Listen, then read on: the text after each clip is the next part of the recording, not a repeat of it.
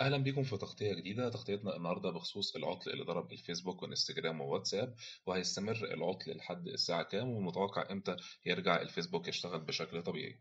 موقع الفيسبوك اتعرض لعطل مفاجئ من عدة ساعات بقاله ثلاث ساعات لحد دلوقتي عطلان. طبعا العطل دوت أحدث حالة من الملل بين الكثير مننا اللي متعودين إن يقضي أغلب وقته على الفيسبوك أو على الإنستجرام أو حتى على الواتساب سواء كان بسبب الشغل أو كترفيه.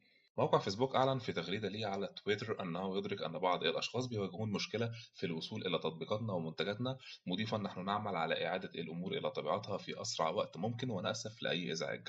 ووجه الموقع المستخدمين أن هناك مشكلات الآن في الاستخدام وطالب المستخدمين بالتحمل. في نفس الوقت طبعا موقع تويتر انتهز الفرصة ديت ورد وقال لك المستخدمون يواجهون بعض الوقت الصعب في الوقت الحالي. بالنسبة للي بيتساءلوا عن الأسباب الخاصة بتعطل موقع الفيسبوك لحد دلوقتي مفيش أي أسباب تم الإعلان عنها من قبل شركة فيسبوك عن سبب العطل. لكن الأعطال دي أحيان كتيرة بيكون أسبابها التحديثات اللي بتتم على الموقع وخاصة إن الموقع حاليا بيعتبر شايل data ضخمة جدا جدا عن السنين اللي فاتت فبالتالي أي تحديث طبيعي إن يحصل معاه حالة من العطل أو قد يكون ظهر مشكلة بيتم حلها. الاحتمال الثالث والأخير إن وجود هاكرز سببه في العطل دوت لكن الساعات اللي جاية هتوضح السبب الحقيقي وإيه اللي حصل فعلا. سواء كان تحديث أو لو كان هناك في هجمة على سيرفرات شركة فيسبوك. خاصة إن الأعطال ديت طبعا بتقلل من القيمة السوقيه لشركة فيسبوك وفي خسائر بالملايين دلوقتي سواء لشركة فيسبوك أو الشركات الأخرى المعتمدة عليها. الخسائر دي برضه هتمتد إن مستخدمين فيسبوك يبدأوا يلجأوا إلى منصات تانية في خلال الأوقات العطل ديت لو افترضنا إن هي امتدت.